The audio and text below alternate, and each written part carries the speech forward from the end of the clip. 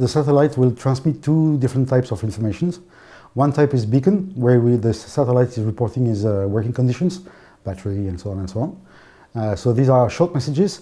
And when the satellite is uh, in uh, scientific uh, mode, when it's doing this observation, then it will have to download to the ground the observation results. And uh, the idea is that in this case, the messages will be much longer. The satellite is using amateur bands for transmission. So typically, the, the uplink will be in the 2 meters band, and the downlink will be in the UHF band, which is uh, 430 to 440 megahertz.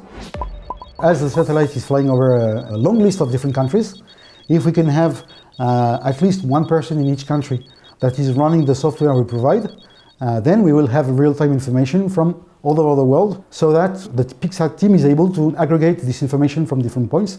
Otherwise, the team will have to wait for the satellite to come over here once a day or two, twice a day.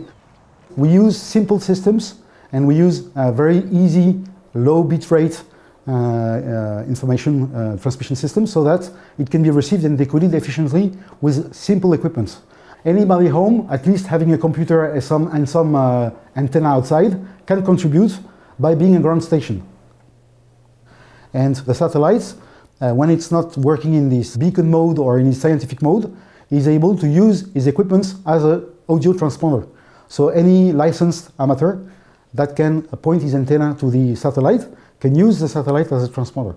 Say that the satellite is over France, for example, uh, someone from uh, North Africa can, can talk with someone which is, uh, who is in the, in the north of Europe uh, using limited power through the satellite. And this would not be possible otherwise.